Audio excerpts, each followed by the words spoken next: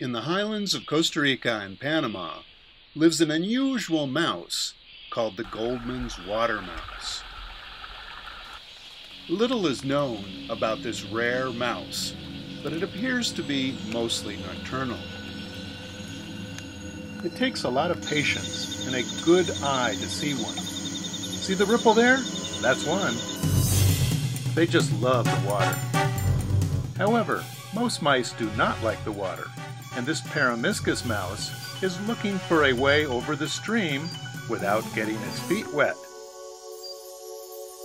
Ah, success! Goldman's water mouse has a large hind foot that is partially webbed.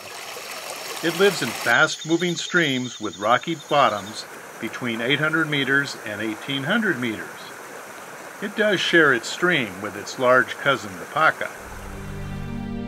The water mouse feeds on crabs, caddisfly larvae, beetles, and spiders. And here comes a water snake in the genus Hydromorphus.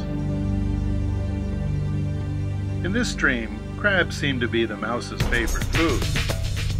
The water mouse makes a den at the end of a two meter tunnel along stream bank.